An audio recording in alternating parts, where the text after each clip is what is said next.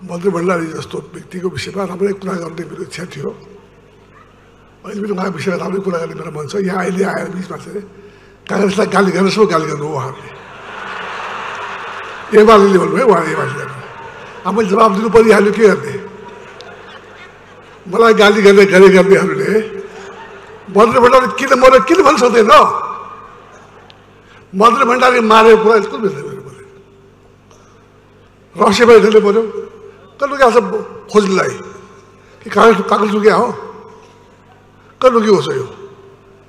अब खोज्नु सक्ने कागजलाई गाली गर्ने मन्त्री भण्डारीको हत्यारा को हो? अहिले चाहिँ पत्ता उठिसकेको छैन हुँदा हुँदा त्यो मान्छे के त्यो उसको ड्राइभर पनि मारियो। कति बार पनि पत्ता छैन। भनेदेखिलाई मदन भण्डारीको नेता हो। राम्रो नेता हो यसमा दुई पनि छैन।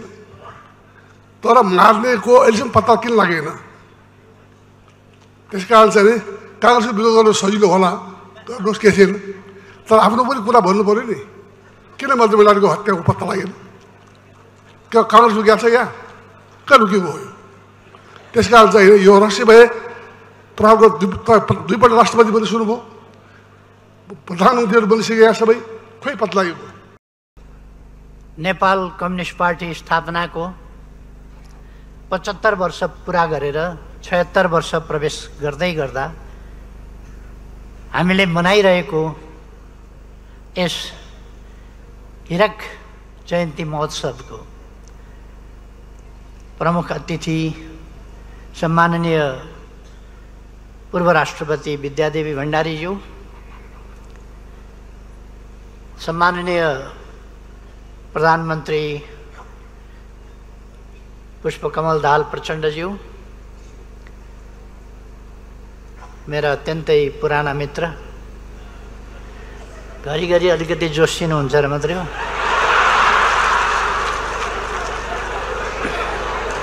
नेपाली कङ्ग्रेसका सभापति, पूर्व प्रधानमन्त्री एवं प्र, प्रमुख प्रतिपक्ष दलका नेता माननीय शेरबहादुर देवबाजु अन्य सम्पूर्ण पूर्व प्रधानमन्त्रीज्यूहरू पार्टीका अध्यक्षज्यूहरू नेताज्यूहरू यस कार्यक्रममा उपस्थित हुनुभएका प्रबुद्ध विद्वान अतिथि महानुभावहरू र यस कार्यक्रममा उपस्थित हुनुभएका